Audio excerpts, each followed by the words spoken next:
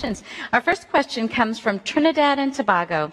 In Revelation 20, Satan gets thrown into the bottomless pit with chains tied to his hands. What do the chains and the bottomless pit represent? Well, we'll actually talk a little bit about the bottomless pit in our presentation tonight. The chains are not talking about physical chains. You can read in the book of uh, Jude, I think it's verse 6, where it says Satan and his angels are bound in chains of darkness.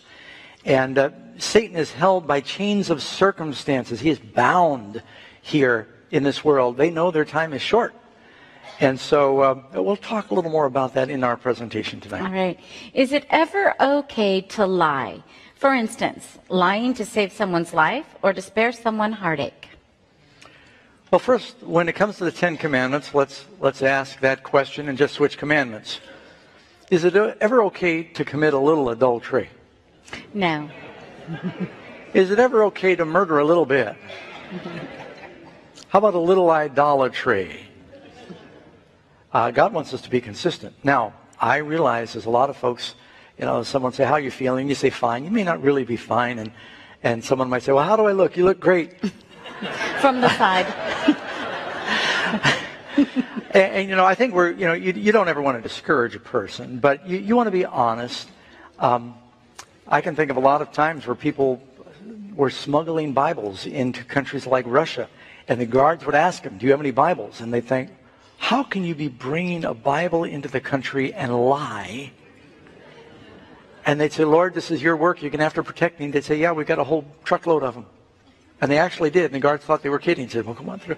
and so there's many times when God has blessed people when they took a stand said, we're going to be honest. Christians should be honest. Would Jesus ever lie a little? No. no. I guess there's the story of Rahab.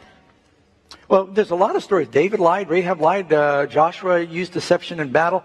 So the examples of some of the great people in the Bible that, of course, Rahab's a harlot too. She had other issues, right? But the, the idea in the Bible of people sometimes using deception doesn't mean God endorsed deception. It's just being, the Bible's an honest record. It says what they did. Yeah. It doesn't mean God endorsed Rahab doing that. Okay. This next question comes from Jamaica. Please explain John 20, 23, where Jesus gave his disciples power to forgive sins.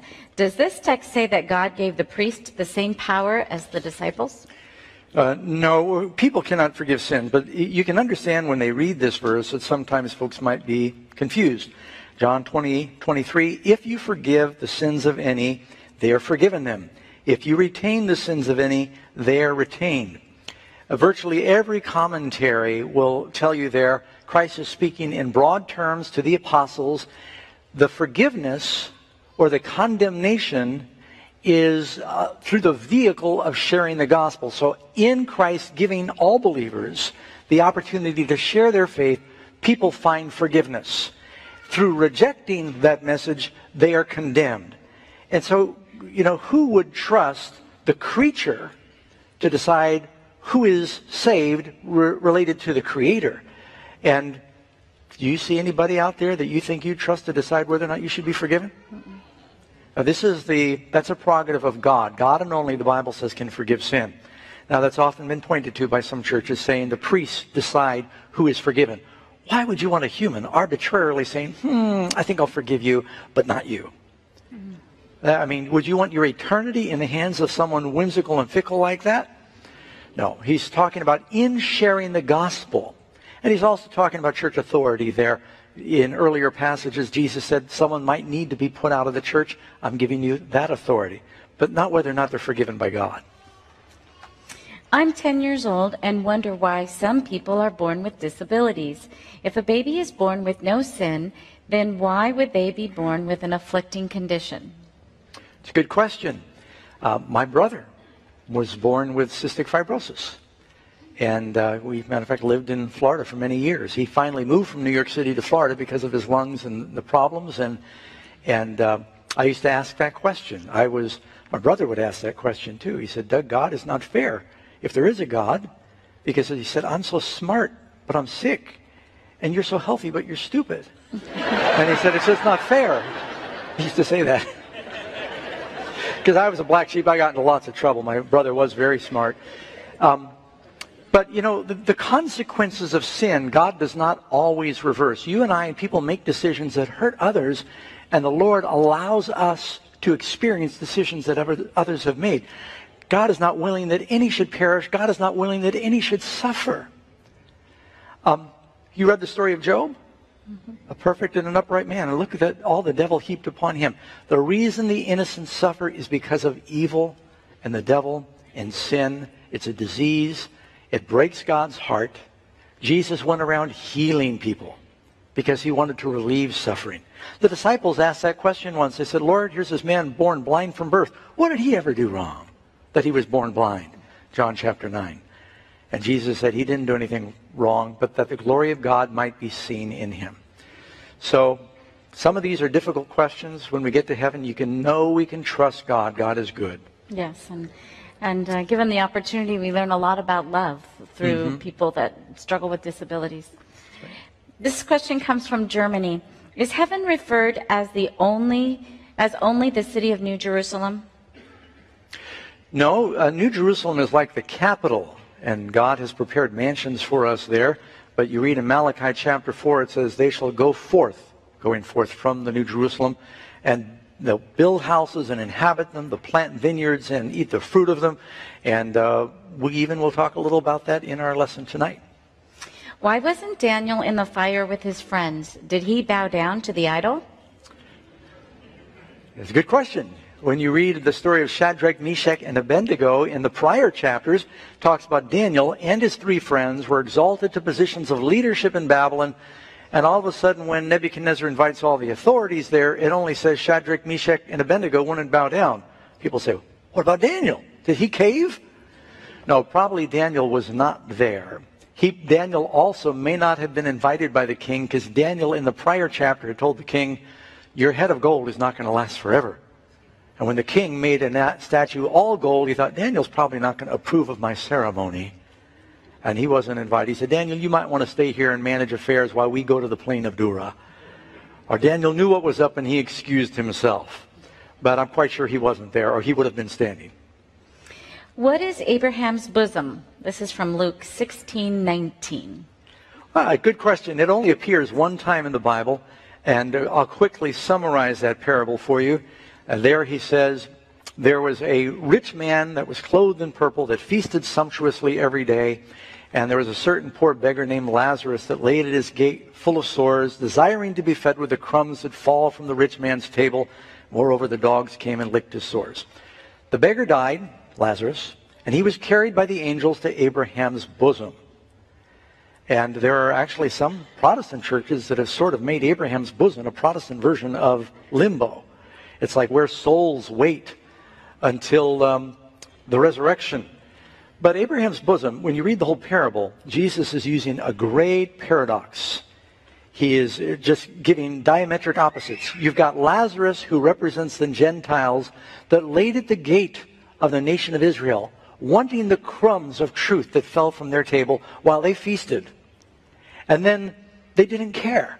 A matter of fact, even Jesus said to a Gentile woman, it's not good to take the children's food and give it to the dogs. Because they called the Gentiles dogs. He was, he did heal that lady, by the way. He was teaching uh, an illustration. But here he's got the Gentile going to Abraham's bosom. Then he says, but the rich man died and he goes to the Greek place of torment called Hades run by a god named Pluto. And so he's got them going to opposite spots. And Jesus was saying, if they do not believe Moses and the prophets, then they will not be persuaded the one should rise from the dead. Abraham's bosom is a symbol for where the saved go. And uh, uh it's a symbol for being redeemed. It, it's not talking about some conscious state or some uh, purgatory or limbo. It's, this is all a parable. All right. Where did God come from? You know, I just threw that in there because I wanted to make sure you all know I don't know all the answers. and uh, there is, that's a question where God is, the Bible says, from everlasting to everlasting, thou art God. How can we explain that? Mm-hmm. You know, we, God made something from nothing. We can't explain that. And so, where did he come from? And as soon as you try to explain who made God or where God came from, then you got to explain where that came from. So at some point it's going to break down and you will have to admit something always existed or you're going to say that um, eh, you know something came from nothing. So if something has always existed, uh, I believe it's God, and that's what the Bible says. He's the Alpha and the Omega, everlasting. Is the lake of fire just for the devil, the beast, and the false prophet, or do the wicked also get cast in? Well, the Lord doesn't want anyone to go to the lake and fire, but if you read in uh, Matthew chapter 25 in the parable of the sheep and the goats, the wicked are cast into the lake and fire prepared for the devil and his angels. The wicked who follow the devil will share the fate of the devil. God doesn't want that to happen, but that's their choice. This question comes from India. Matthew 28 1 says that in the end of the Sabbath, as it began to dawn toward the first day of the week, came Mary Magdalene and, of, and the other Mary to see the sepulchre. Doesn't this mean that a day begins at dawn and not in the evening when the sun is set? Now, if you compare the different Gospels there, it tells us that um, it was a great while before it was day. They began the journey. Sun hadn't even risen yet. It's simply saying at the end of the Sabbath because prior to those verses, it says they stopped embalming his body before the sun went down to respect the Sabbath. They waited until the Sabbath was over. Sabbath ended then, of course, Saturday night at sundown. They needed to sleep a little bit and wait for light. So after the Sabbath was over, very early in the morning, as soon as they could get there, so they'd be there at first light, they, of course, found the tomb empty. Uh, but it's not saying that the Sabbath begins at dawn. It's just stating the record there. All right, we went through our questions very quickly. Our last question is How do they keep the Sabbath in Alaska? And, and I think uh, Karen and I went on a, uh, a, cruise to Alaska a few years ago. I, I, went to a men's retreat, and I said, Why don't you cruise up with me? And I said, Then you can fly home, and I'll go to the retreat with our son. And it, I remember we were watching the sun go down at 11:45 at night. It's really weird. And, and, in the winter, of course, you know, the sun's going down. It, it, depends on what part of Alaska. It goes down very early, comes up late. But you realize sundown, even though the sun may go down at 11:45, it'll be 24 hours until next sundown. And so sundown and sundown still 24 hours, right?